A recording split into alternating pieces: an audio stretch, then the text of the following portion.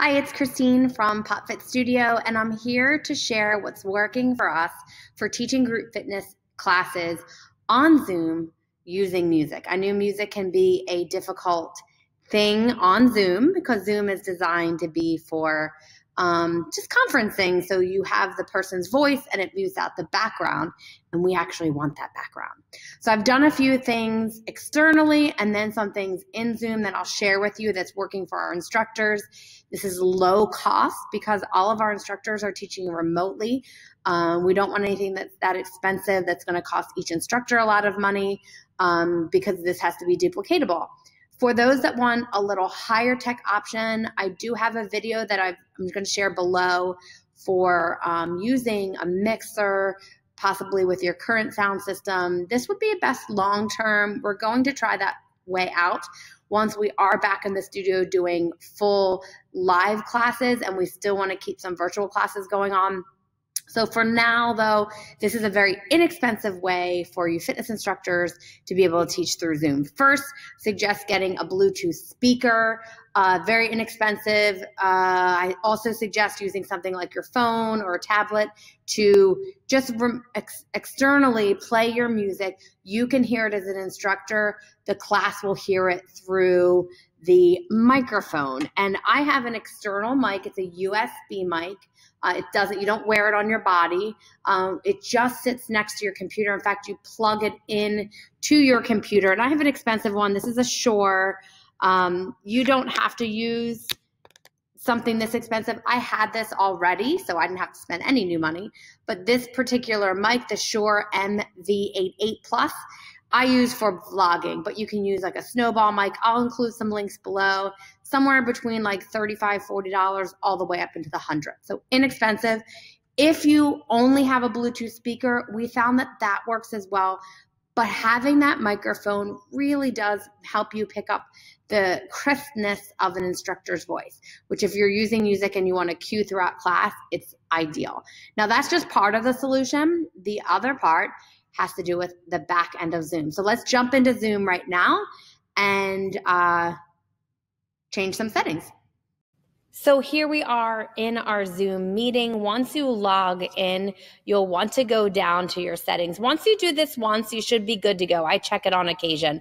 But go down to your mute button and there's a little arrow. Go up to audio settings and you'll need to adjust your audio settings to um, make it so Zoom isn't isn't compressing everything that you're doing and you know mixing things automatically. So automatically adjust microphone volume is probably checked off.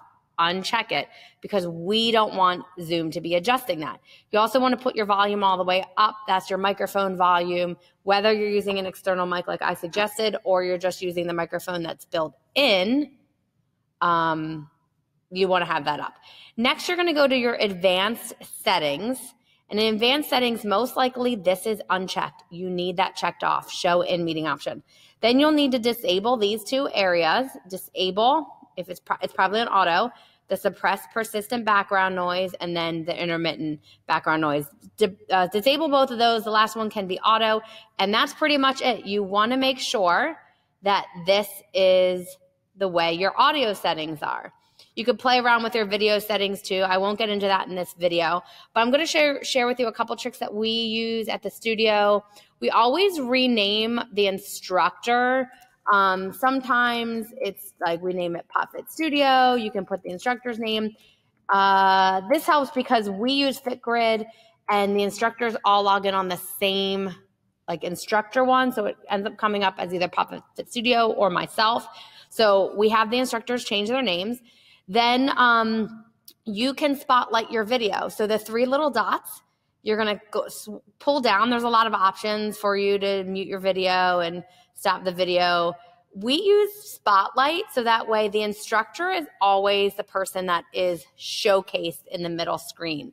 Now, when we do classes with du- duplicate instructors or, or multi like two or three instructors it's a good way for the instructors to just spotlight who is the one next teaching rather than leave that up to all the members in order to hit pin. This just makes it a lot easier. Um, and this is also where you would co-host. So i could make one of these, either the host or in this case, this this person, I can make them the co-host. So then that way, if they're one of my other instructors, we have found out recently that you know when there's technical issues we like to put our if there's another instructor on the class with us or if there is um, someone that just is can keep keep everybody going if something were to happen if my wi-fi were to go out that if we put another person kind of back up in charge um, maybe one of your frontline people, that's very helpful. So sometimes I'll make someone a co-host. They might they're they're not going to teach it all, but they'll be in charge should I get bumped off for some reason. Uh, next, we mute or unmute. You do that by going to the participants uh, section, and you can mute all. I always this usually comes up as checked, allow participants unmute. I uncheck it because I don't want them to be able to unmute themselves.